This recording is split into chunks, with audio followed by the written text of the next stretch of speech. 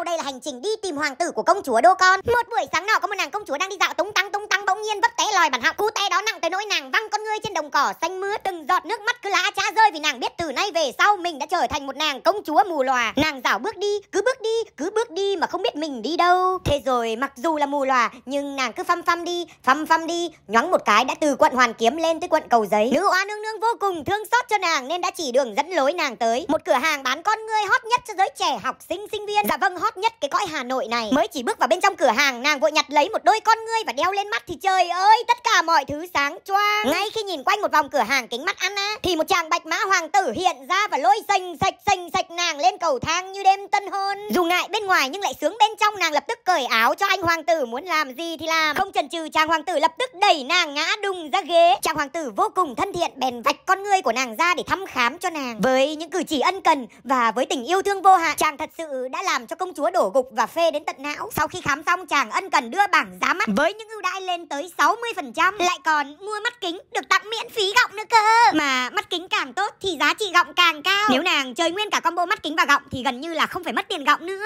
Tiếp theo hoàng tử phái một tỷ nữ dẫn nàng công chúa đi khắp cung điện nguy nga để cùng chọn con ngươi mới cho nàng. Sau khi đã chọn được con ngươi ưng ý, nàng bẽn lén ngồi đọc đắc nhân tâm trong thời gian chờ đợi và suy ngẫm về cuộc đời mình cũng như những người đàn ông lướt qua đời. Chàng đưa cho nàng một cặp con ngươi mới và nàng vô cùng ưng ý. Ngay cái giây phút mắt sáng trở lại, nàng nhận ra chàng hoàng tử không chỉ tốt với mình nàng mà tốt đều với tất cả những nàng công chúa đến với kính mắt Anna. Nàng công chúa lặng lẽ giá từ chàng hoàng tử trong vô vàn tiếc nuối. Nàng kiêu hãnh trong sự sung sướng khi được sale up lên tận 60% mặc dù không có được trái tim của hoàng tử, nhưng bù lại, nàng biết biết thêm một địa chỉ bán con ngươi vô cùng uy tín. Đó là kính mắt Anna tại 12 Xuân Thủy. Nàng vui vẻ ra về trong sự sung sướng tột cùng. Hãy nhớ mãi nhé, chàng hoàng tử thân yêu.